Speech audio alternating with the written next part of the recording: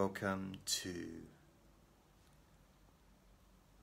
number two of Daily Hypnotic Buffet 2018. The point of these sessions, these daily video thingamajigs, is to offer some ideas, some thoughts, some things, just to tap into maybe those parts of your mind that may be able to give you something, maybe able to change the way you're thinking and the way you're feeling. And there isn't anything that you need to do. I know that some people will watch it and then they'll go away and I'll think, what's going on? Why are you just talking about stuff? But there is a reason behind it.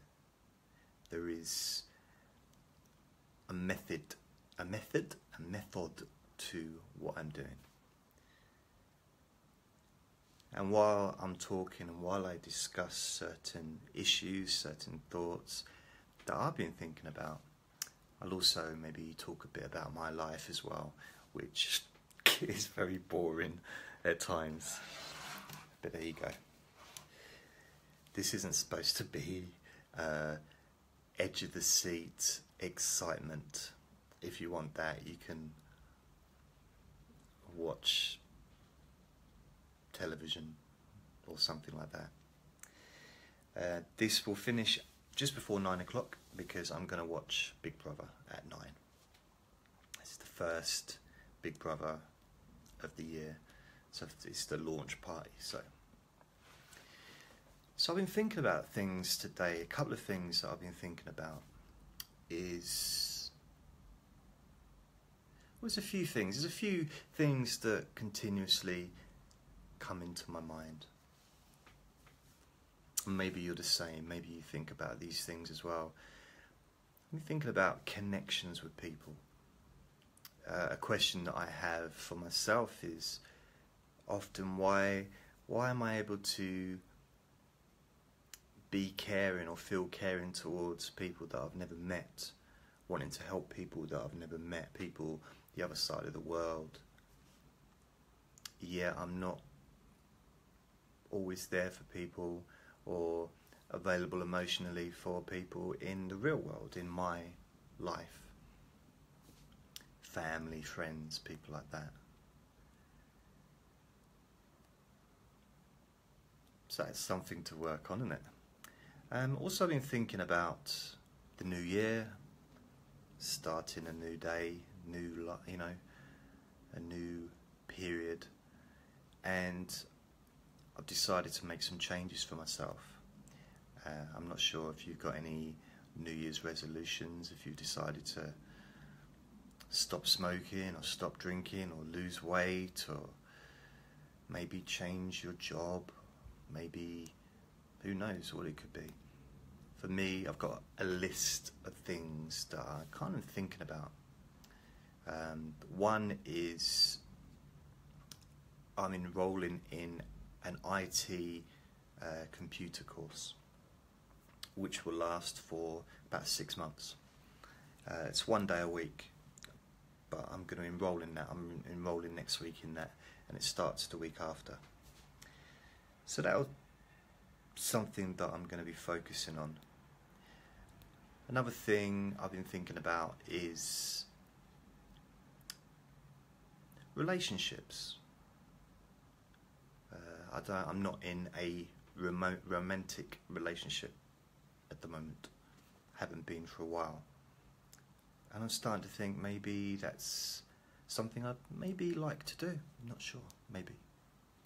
I can see some of the benefits of that. Another thing I'd like to do is get a light so I can shine it so that the video is a bit brighter. Because I lent a friend my lamp that I normally use, which is really, it's like the sun, it's so bright. But it, it brightens the room up so it makes the picture better. At the moment it's a little bit, it's not very bright, which isn't good. but hopefully it's okay. So yeah, I've just been thinking about family, been thinking about friends, been thinking about the past. And I've had a few discussions with a friend about regrets. Whenever I say the word regrets, I feel I want to start singing the uh, Frank Sinatra song or Elvis Presley song. He sang that as well, didn't he? Regrets, I've had a few, but then again, way too many to mention. So I've been thinking, and I talked yesterday about some regrets that I've got I keep thinking about, I keep playing over things in the past that maybe it's not useful for me to be doing because I can't change the past. I can change my response to what's happened in the past. But I can't actually physically change it. So, yeah, it's something that I'm thinking about. I'm also thinking about what do I want to do with these videos that I'm making, these audios that I'm making what is the aim behind what I'm doing. And these daily hypnotic buffets are an amalgamation of kind of everything that I've done in the past. So, and I'm doing this live today. I, I don't generally do live videos, but I decided to record this live so it's then uploaded and I haven't got to worry and put any effort into editing or anything, it's just done. Then I'll also, I'll download it, I'll put it onto YouTube and uh, convert it into an MP3 and you know, so it's done. It's a lot easier as long as the internet doesn't cut off.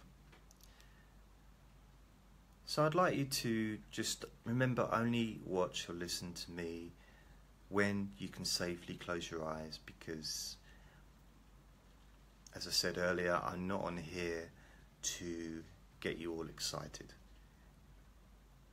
it's about calmness it's about I do like to talk about boring people and in a sense maybe it is especially if I talk about my life it's you know for for me if I want drama I watch television I don't invite drama into my life. I don't uh, let drama inside my front door.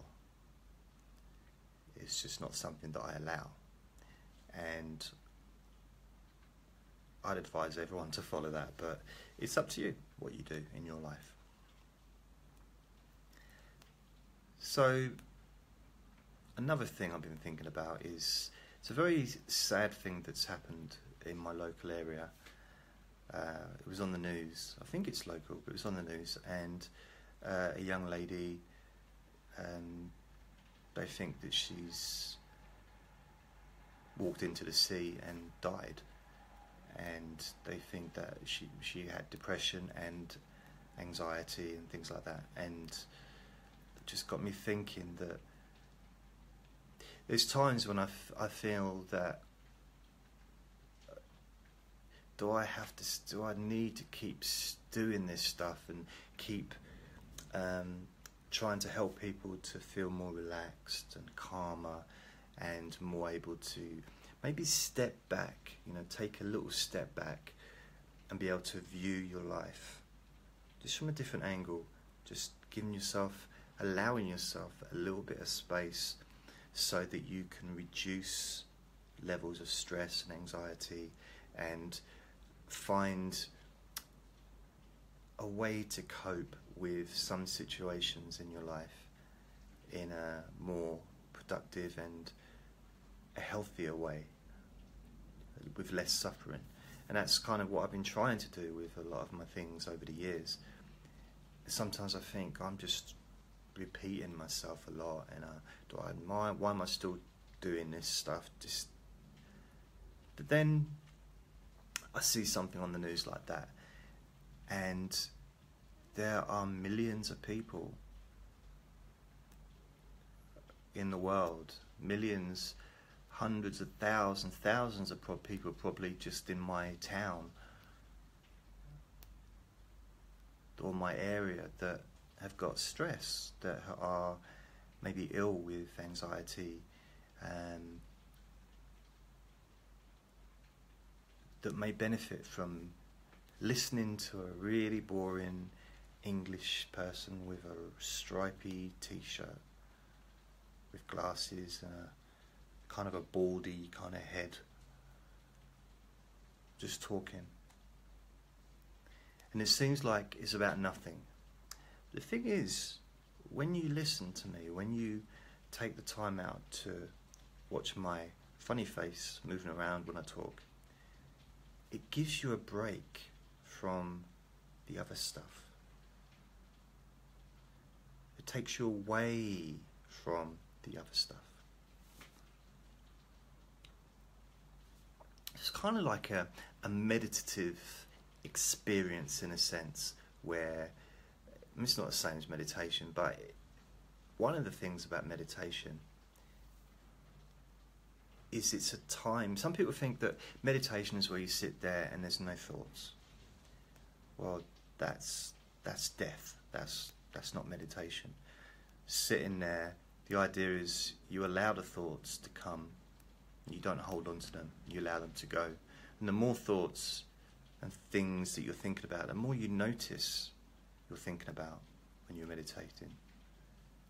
In a sense, the better you're doing because you're noticing those feelings and those thoughts arising and you're noticing them as they're going. And you get to realize that actually all emotions, all feelings, all thoughts are like waves, you know.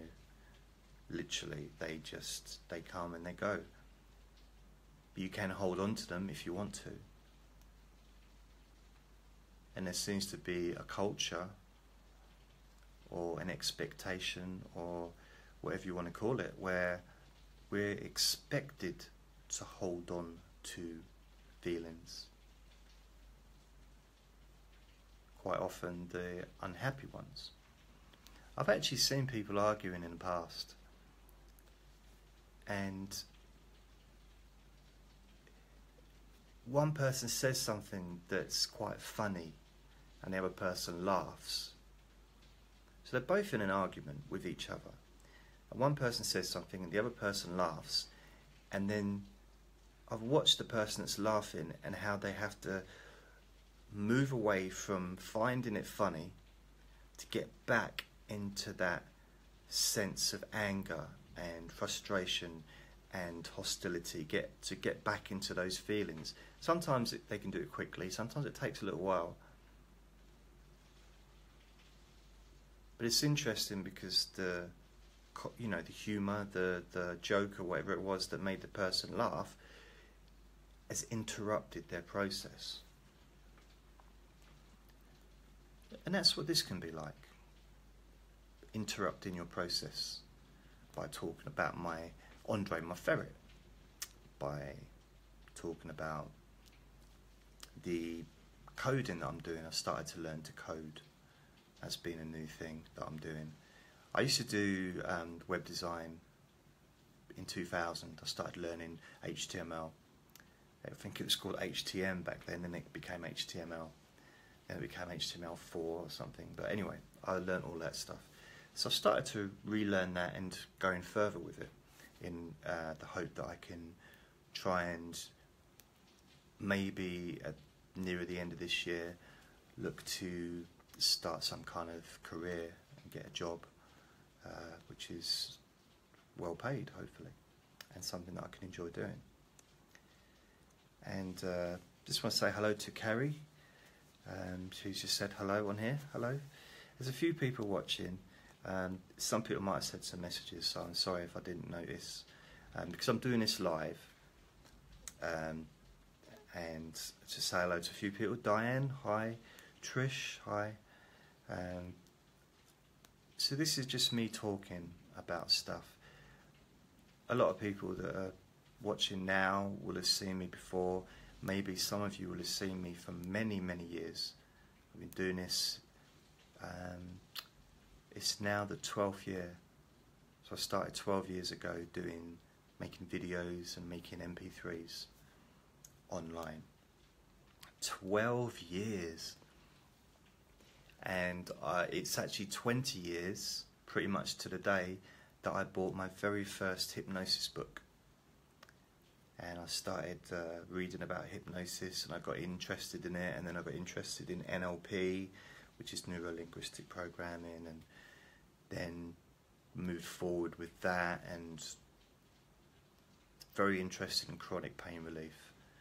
That was one of the things that got my interest the most. The idea of being able to, just by talking, to change somebody's state, change how you're feeling by just me talking.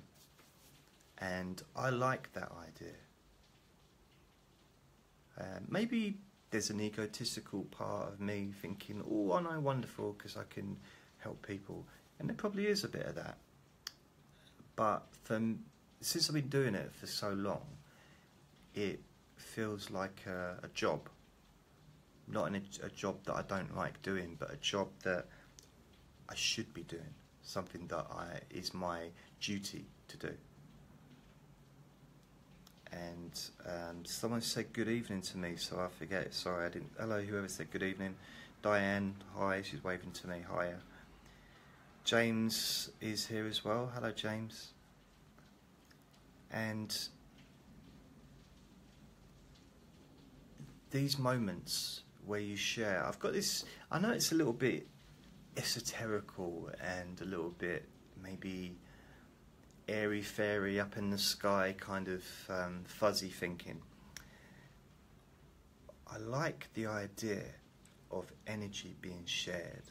The idea of Diane, James, Trish, um, Joanne, Joan, you know, whoever's watching or listening to this at the same time, to be sharing the energy, to be experiencing maybe a sense of calm among you together with us or because I feel calmer when I do these. And maybe my voice bores me. I do get bored sometimes when I'm talking. When I'm talking to another person sometimes I just stop and just can't even bother to finish that sentence. It was boring me. But that's probably more to do with the subject than anything else but so I've been thinking the idea of having a safe space to go to, to listen to somebody just yabbering on. This is just me. I'm just an ordinary person um, with an extraordinary talent. No, I'm just an ordinary person, 47 years old, be 48 this year. Can you believe it? 48. And I can talk forever. It's the only thing that I, I can do with any kind of confidence is just talk. I don't feel, don't, and even though I might just be talking rubbish at times, it's just talking. And there's power in listening, there's power in talking, there's power in the word that people say. And I think it's important for you to hear that you you're a decent person. I think it's we need to hear that. I think you need to hear that. I need to hear that. We need to hear some nice stuff. I'm not very good at saying nice stuff to people that I know. That's what's weird about it. I can say it to you. And I realise I'm looking at myself in the camera when I'm saying it, but I'm not saying it to myself.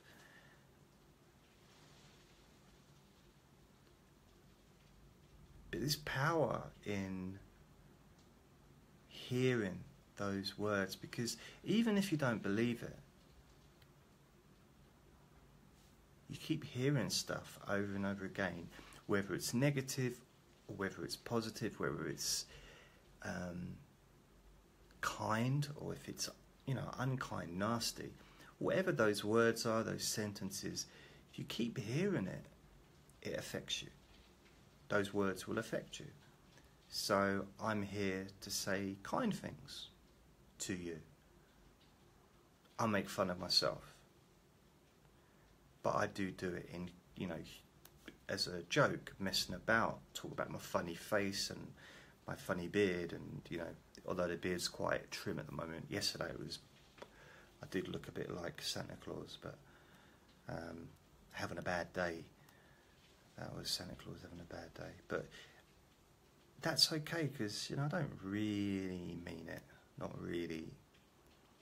I suppose I need to be a little bit careful by putting myself down. Put downs are quite horrible and in some ways, and I've been on the receiving end of put downs, like constant put downs, over and over again, and it, affects it affected me, and I've no doubt that if you've been in that situation, you've been affected also by something that you've heard over and over again. Whether it's a kind thing, whether it's a positive, whether it's complimentary, or whether it's not. Maybe it's just damn nasty. Whatever it may be. Someone's just done a thumbs up, so I think that's someone saying yeah. So we've all been on the receiving end of that. Sometimes the people that are giving that don't realize, they're not aware of it. And I know that I've also been on the giving side of that. I've said things to people that have been nasty and horrible and maybe not even thought about it, not realized what I've said. Uh, I try not to do that now. I try not to do that anymore. Uh, it's about learning. It's about growing, I guess. Being aware to a degree. But there's a lot. There's things I hear about things. Hi, Rachel. Rachel's just come online. There's a few thing about people saying because um, I got very much involved in Buddhism. I'm still kind of involved in it to a degree, but as far as a religion goes, Buddhism would be my religion, I guess. Um, Rachel says hi, hello, and there's this thing about self-awareness and also with counselling, talking about self-awareness. For me, self-awareness is about being aware of how I feel.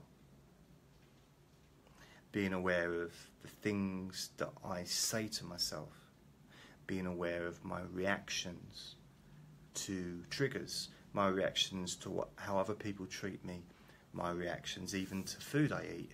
My reactions to what I see on television you know, that's for me. That's self awareness, being aware of how I am,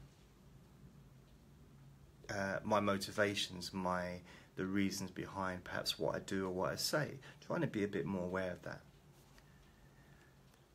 Some people think of self awareness as being aware. Self aware is being aware of how you're affecting another person. When we can't really be aware of how we're affecting another person internally unless we can to a degree if someone's very expressive and you know but unless they tell you what is how they're feeling then it's very hard I find to know how I'm affecting another person so the best solution for that for me is to maybe just aim at if I do affect other people, try and aim at being in a kind way, in a, a useful way, or neutral. I don't mind neutral. Neutral is good, you know. Going, I'm not going into a shop to if I'm going to buy groceries, I'm honestly I'm not going in there to make friends with the person on the ca- who's taking the money at the cashier. Um, I'm not in that zone of being. I'm not unfriendly, but I'm not over friendly. and I realise I've done that job, and sometimes it's nice to have people be friendly, but at the same time, it's nice to just get on with the next customer because you've got a job to do. Um, so I've sometimes I would prefer maybe neutral, uh, just like friendly but not over friendly, not trying to engage into a conversation or tell them about my life. That's why I do videos. So you can choose if you want to watch me or listen to me. It's not something that's forced upon you. It's not something that you're not cornered. You know, I've not sat next to you on a bus and started to talk to you. Unless, of course, I am sitting next to you on a bus while you're watching this. Then that would be really weird. But trust me, I wouldn't sit next to anyone on a bus unless I really had to. I like to sit on my own seat because I'm like that. So, this self awareness is, I think, noticing the weird idiosyncrasies maybe that we have and not beating ourselves up about it. Because there's things, I'm not a big fan of noise. I'm not a big fan of uh, noisy neighbours and things like that. I'm not. And I probably never will be. So, you know, I've got my own. I like to take bottles of water with me when I go out because I like to have something to drink. If I, I like to plan to make sure there's a toilet wherever I go, um, but that's probably comes with age, maybe. Just my bladder's not as strong as it used to be, maybe. I don't know, but there's something about noticing how you feel right now if you notice how you feel in this moment, then that is self awareness.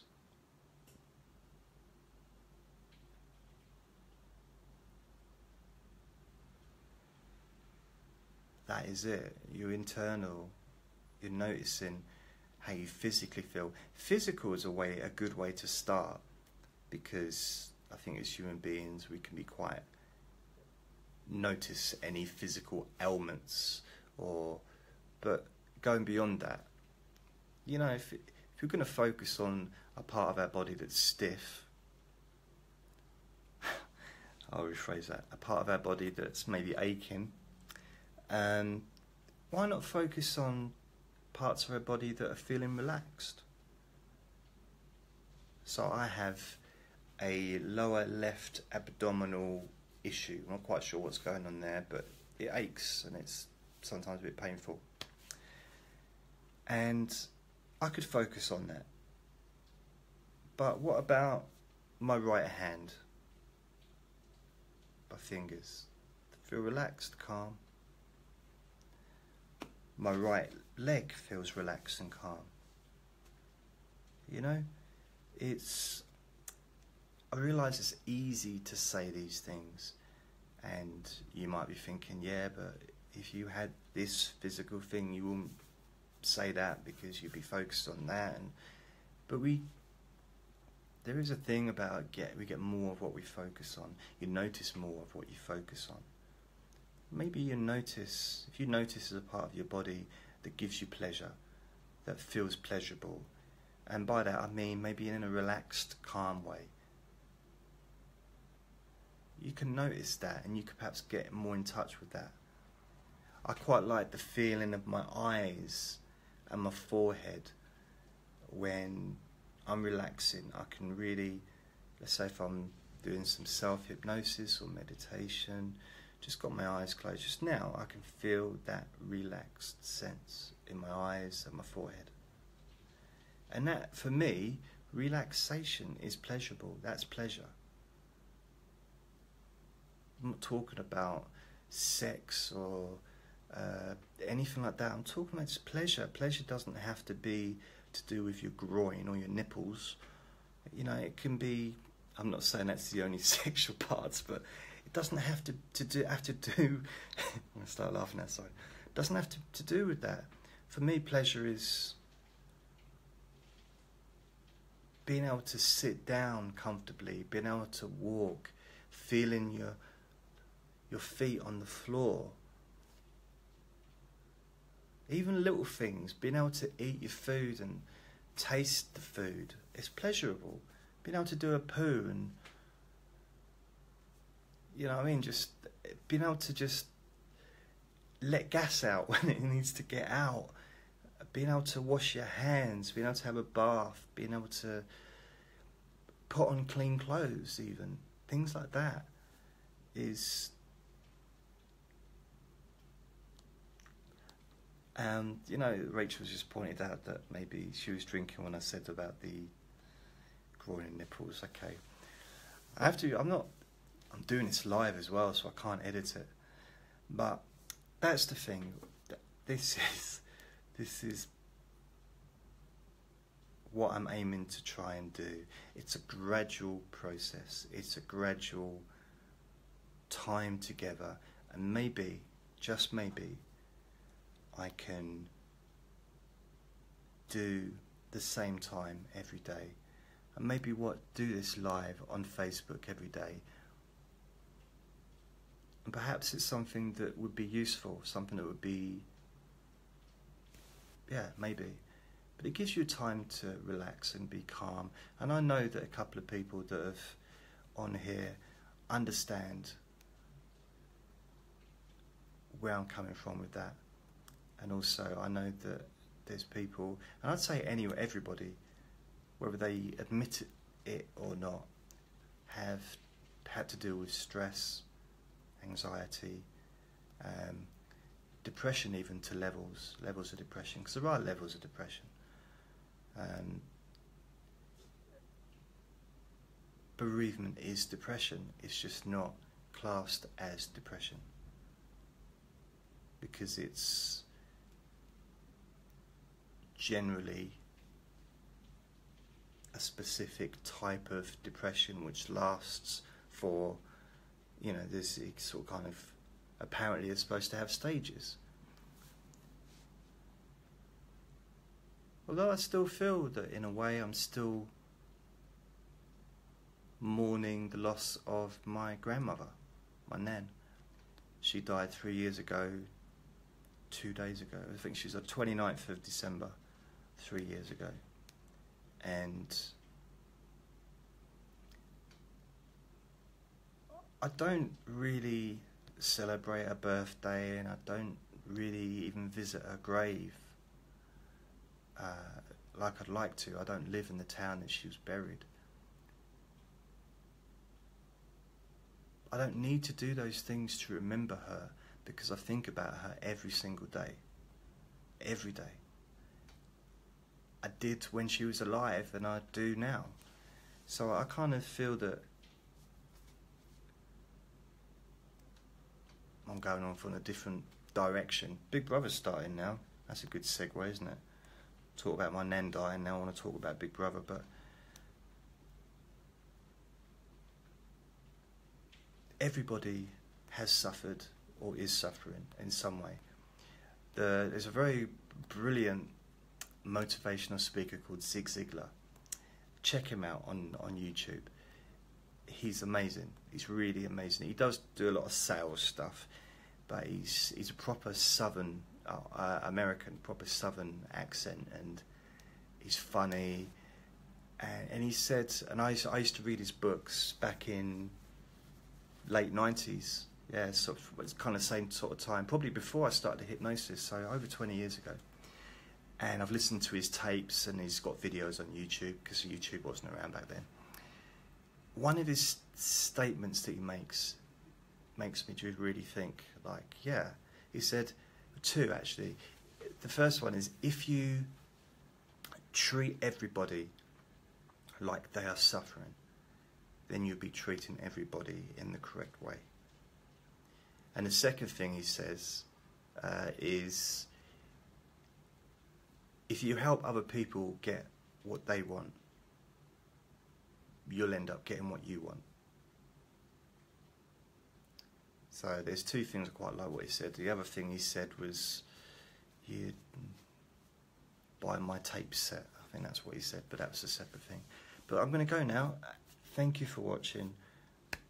I'm going to be back tomorrow. I don't know whether to do a live one or not, so leave a message if you think I should do these live, or you think I should maybe just record them and stick them on YouTube and then just put a link to YouTube on there. Just let me know. Um, I'm here for you all. And, you know, even if you don't tell someone, my homework for you for today, even if you don't tell someone that you care about them, just think about how much you care. Think about one person and how much you care for them.